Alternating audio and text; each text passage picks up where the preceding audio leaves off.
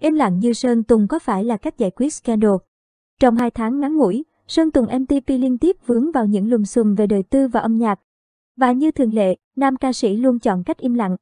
Tối ngày 22 tháng 2, người hâm mộ Sơn Tùng MTP xôn xao khi MV chúng ta của hiện tại biến mất khỏi nền tảng trực tuyến.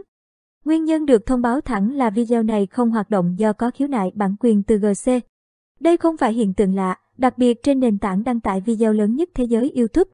Rất nhiều video từng bị gỡ hoặc tạm ẩn với lý do bị đánh bản quyền âm nhạc hoặc hình ảnh. Nhưng đây lại là lần hiếm hoi MV của ngôi sao hàng đầu Việt Nam như Sơn Tùng bị tạm gỡ một cách thẳng thừng với lý do như vậy. Nhà sản xuất GCbit là người đã báo cáo lên YouTube vì nhận thấy phần giai điệu của chúng ta của hiện tại giống với Bruno Mars tại Big EF yêu mai, sẵn. Phẩm thuộc, quyền, sở hữu của anh. Và trong khi GCbit liên tục trả lời các vấn đề người hâm mộ đặt ra như tại sao đánh bản quyền. Sự việc được giải quyết ra sao thì Sơn Tùng MTP một mực giữ im lặng. Cách làm vô tiền khoáng hậu của một nghệ sĩ có tiếng. Đây không phải lần đầu Sơn Tùng và ekip giữ im lặng trước những sự việc xảy ra xung quanh nam ca sĩ. Trái lại, im lặng chính là động thái quen thuộc nhất của giọng ca 27 tuổi. Trong 9 năm sự nghiệp, nam ca sĩ người Thái Bình từng vướng vào nhiều lùm xùm xoay quanh chuyện vay mượn trong âm nhạc. Nhưng chưa bao giờ MV của Sơn Tùng bị gỡ như chúng ta của hiện tại. Có ý kiến khán giả cho rằng câu chuyện của Sơn Tùng lần này tự như câu nói trèo cao, ngã đau. Đứng ở vị thế ca sĩ hàng đầu, việc Sơn Tùng bị phát hiện dùng bích vi phạm bản quyền nghiêm trọng và tai tiếng hơn thời điểm anh mới bắt đầu sự nghiệp ca hát nhiều lần. Thực tế, quy trình thuê bích trong thời gian ngắn hay mua đứt bản quyền để sử dụng vĩnh viễn đều khá đơn giản và cũng không quá đắt đỏ.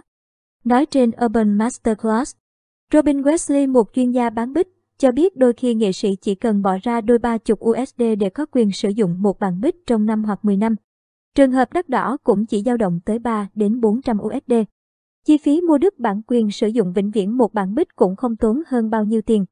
Sau khi sự việc nổ ra, Sơn Tùng và ekip vẫn kiên quyết giữ im lặng và nhanh chóng dàn xếp với GC Bích. Khán giả chỉ biết sự việc đã được giải quyết khi GC tuyên bố trên story Instagram. Đã có một cuộc trò chuyện với CEO của công ty MTP Entertainment. Chúng tôi đã hiểu hơn về tình huống này và đồng tình với suy nghĩ của nhau. Với lòng thiện chí, tôi đã khôi phục lại đoạn video. Lúc này, phía Sơn Tùng chia sẻ lại lời tuyên bố của GC lên fanpage của nam ca sĩ bằng cách đăng bức ảnh chụp màn hình story. Thay vì đưa ra một thông báo chỉnh chu, chuyên nghiệp. Bài học về sự chuyên nghiệp và tôn trọng khán giả. Rõ ràng cách làm của Sơn Tùng còn thiếu chuyên nghiệp, từ chuyện vi phạm bản quyền dùng bích nhạc đến cách ekip và chính nam ca sĩ đối diện với truyền thông và dư luận. Khán giả có lẽ không hẳn yêu cầu Sơn Tùng phải đưa ra tuyên bố to tát nào, cũng không mong anh đứng ra thừa nhận bản thân đã dùng bích trái phép. Nhưng khán giả trong đợi nam ca sĩ biết chịu trách nhiệm với công việc, sự nghiệp và danh tiếng của chính mình. Sơn Tùng giờ đây không chỉ hoạt động với tư cách một ca sĩ, anh còn là ông chủ của một công ty giải trí, trách nhiệm phát ngôn đã lớn hơn rất nhiều. Ở Corp, môi trường âm nhạc đã ảnh hưởng rất nhiều tới phong cách, hình ảnh và cách làm việc của Sơn Tùng, các công ty quản lý luôn lên tiếng. Trả lời truyền thông và khán giả khi có bất kỳ sự việc nào xảy ra với nghệ sĩ của họ, dù lời tuyên bố đôi khi chỉ mang tính chất an ủi người hâm mộ. Đơn cử như IG Entertainment. Công ty của Big Bang và Blackpink thường đưa ra các câu trả lời như chúng tôi sẽ xác minh lại với nghệ sĩ khi được hỏi về scandal liên quan đến nghệ sĩ. Chẳng hạn, phía IG đưa ra tuyên bố công ty sẽ kiểm tra lại vấn đề ngay và đưa ra câu trả lời sớm nhất trong các vụ lùm xùm của G-Dragon. Scandal nghiêm trọng của Seungri hay chuyện các nghệ sĩ rời công ty. Trong các vụ bốc hẹn hò của nghệ sĩ IG, công ty này cũng sẽ trả lời một cách quen thuộc rằng chúng tôi không thể trả lời về vấn đề đời tư nghệ sĩ. Cá biệt, khi truyền thông đăng tin Tê Giang và Minh Hyo Jin hẹn hò vào năm 2015. Đại diện IG Entertainment đã đưa ra một thông báo khiến fan dở khóc dở cười, hiện tại chúng tôi không liên lạc được với Tê Giang. Nhưng nếu chuyện tình yêu là thật thì chúc mừng cậu ấy. Hay như SM Entertainment. Ông lớn khốp không bao giờ im lặng và luôn cam đoan ngay lập tức rằng sẽ xác minh vấn đề với nội bộ và thông báo tới khán giả khi được hỏi về scandal của nghệ. Sĩ mà công ty quản lý, mà ví dụ gần nhất ở đây là hai scandal liên tiếp vào tháng 10 năm 2020 của Irene Red Velvet và Chang Yu Eso. Khi vụ Irene lăng mạ stylist nổ ra, SM nhanh chóng đưa ra phản hồi và trưởng nhóm Red Velvet cũng gửi thư thừa nhận hành động thô lỗ của mình không lâu sau đó. Với bê bối hẹn hò nhiều phụ nữ cùng lúc của Chang Yu, SM cũng tuyên bố sẽ điều tra và khởi kiện nếu nguồn tin cố tình bị đặt ác ý, bôi nhọ nghệ sĩ. Ở Corp, không thiếu nghệ sĩ tự làm chủ một công ty quản lý, như Sơn Tùng làm chủ MTP Entertainment. Và dĩ nhiên các nghệ sĩ trên vẫn phải tự mình phát ngôn khi có vấn đề xảy ra xung quanh danh tiếng, sự nghiệp của bản thân. Chẳng hạn, Litic và nhóm Super Junior đang làm chủ công ty SG Label. Và nhóm đã lập tức trả lời truyền thông về scandal say rượu lái xe của Căng In. Nhóm Highlight tự lập nên Oral US Entertainment, chính các thành viên giữ vai trò làm chủ. Và phải tự đưa ra tuyên bố y ông Jung Hyun rời nhóm vì scandal xem video đồi trụy. Hay Center Quốc dân Kang Daniel, thông qua danh nghĩa công ty tự lập Connect Entertainment. Cũng phải trả lời về vấn đề bản thân đang hẹn hò với Jihyo TV Kep Hai người đang gặp gỡ và dành tình cảm tốt đẹp cho nhau.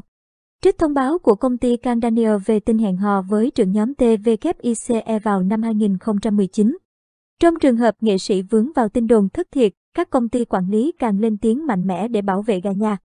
Chẳng hạn, khi Park Bo Gum bị tố là người thứ ba phá vỡ hạnh phúc gia đình của Song Hai Kyo Song Joong Ki. Công ty quản lý Blossom Entertainment đã bác bỏ tin đồn và kiên quyết khởi kiện người tung tin trên. Trong các vụ tố cáo bạo lực học đường rúng động dư luận Hàn Quốc gần đây, những nghệ sĩ bị tố oan như Tru, LONA, Sang U Taeboyz. Park Ji Hun cũng được công ty quản lý lên tiếng binh vực, minh oan bằng văn bản thông báo rộng rãi. Các công ty trên cũng tuyên bố kiện những người đưa tin sai lệch. Với các công ty giải trí xứ Hàn, họ có nhiều cách để đối diện với dư luận, nhưng luôn chọn phát ngôn ngay khi sự vụ xảy ra. Lên tiếng trả lời, dù là thừa nhận hay bác bỏ, dù có kế hoạch hành động cụ thể hay mới chỉ là một lời hứa chung chung. Không chỉ thể hiện sự chuyên nghiệp trong công việc mà còn thể hiện sự tôn trọng dành cho khán giả. Tôn trọng là điều kiện tiên quyết để một mối quan hệ tồn tại và phát triển. Ở showbiz chính là mối quan hệ giữa nghệ sĩ và người hâm mộ. Im lặng không phải lúc nào cũng là vàng, đặc biệt là khi người hâm mộ cho rằng lên tiếng chịu trách nhiệm mới là cách nhanh nhất để trưởng thành và trở nên chuyên nghiệp. Gần nhất, khi ồn ào xảy ra với Hải Tú, gà nhà của công ty MTP Entertainment liên quan đến chuyện tình cảm. Khi Hải Tú bị bùa vây mới những lời chỉ trích, Thóa mạ, bị kêu gọi tẩy chay khắp mạng xã hội, Sơn Tùng và công ty cũng chọn cách im lặng. Anh D. P. Một người có kinh nghiệm lâu năm trong việc quản lý nghệ sĩ chia sẻ với Dinh, dù sự thật là gì, họ có quan hệ tình cảm hay không không quan trọng. Quan trọng là Sơn Tùng cần lên tiếng để chấm dứt những tranh cãi xung quanh Hải Tú, tránh để cô ấy chịu tổn thương. Với tư cách chủ tịch công ty giải trí, đây là điều cần thực hiện, mà với tư cách một người đàn ông, đây lại càng là điều nên làm.